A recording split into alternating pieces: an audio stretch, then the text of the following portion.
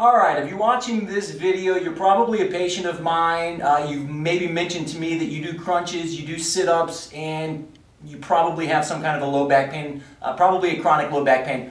And I have encouraged you already to maybe discontinue those for a while and uh, perhaps forever.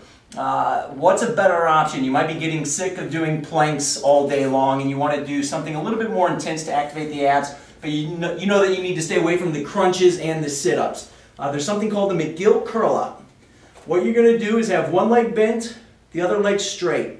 You're just going to put your hands palm down into the small of your back, your low back area there.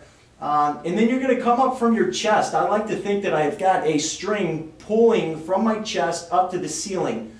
The reason you want to do that is because you want to avoid going forward. You want to go straight up like that there. So again, hands in the small of the back. You're not going to come up, you're not using your elbows to pull you up. Your elbows are going to be uh, just nice and loose. And you're going to come up from the chest. And you can do those there. Notice I'm not using my elbows.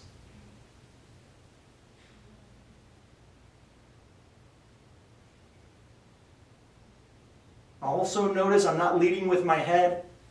I'm not jutting my head way out like that there. And I'm also not letting my head be back here like this. Trying to keep my neck as neutral as possible. Otherwise you're going to come in with uh, your back's feeling better, but you're going to have a strained neck. So again, string pulling you up from your chest all the way up to the ceiling.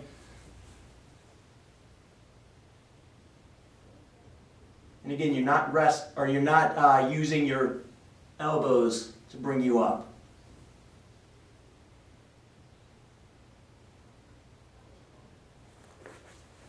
And again, that's called a McGill curl up, uh, just to replace your crunches and your sit-ups. Uh, let me know if you have any questions as always, and good luck.